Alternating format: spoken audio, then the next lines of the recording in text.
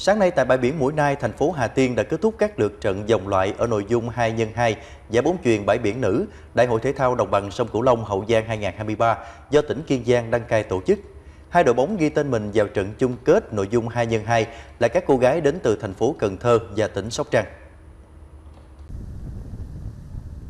Ở nội dung 2 x 2 giải bóng chuyền bãi biển nữ, Đại hội thể thao đồng bằng sông Cửu Long có 4 đơn vị tham gia, gồm Cần Thơ, Cà Mau, Sóc Trăng và chủ nhà Kiên Giang. Các vận động viên thi đấu theo thể thức vòng tròn một lượt, chọn ra hai đội có điểm số cao nhất bước vào tranh tài vòng chung kết. Hai đội còn lại sẽ bước vào tranh quy chương đồng.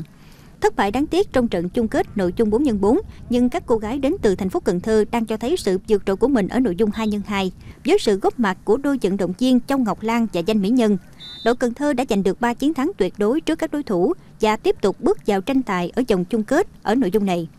Vừa qua đội chủ nhà Kiên Giang với tỷ số chung cuộc 2-1, Lê Vũ Hoàng, Kim Phụng và Nguyễn Thị Tường Di đến từ Sóc Trăng đã có được hai trận thắng và một trận thua, đứng vị trí thứ hai và góp mặt tranh tài trong trận chung kết nội dung 2 x 2.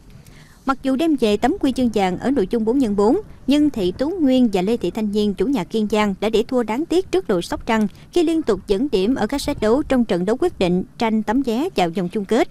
Với một trận thắng và hai trận thua, đội chủ nhà Kiên Giang sẽ bước vào trận đấu tranh quy chương động ở nội dung 2 x 2 gặp Quỳnh Kiều Tiên và Nguyễn Ngọc Như Ý đến từ Cà Mau. Các trận đấu chung kết tranh quy chương đồng và tổng kết giải bóng chuyền bãi biển Đại hội thể thao đồng bằng sông Cửu Long Hậu Giang năm 2023 sẽ được chúng tôi cập nhật trong những bản tin tiếp theo.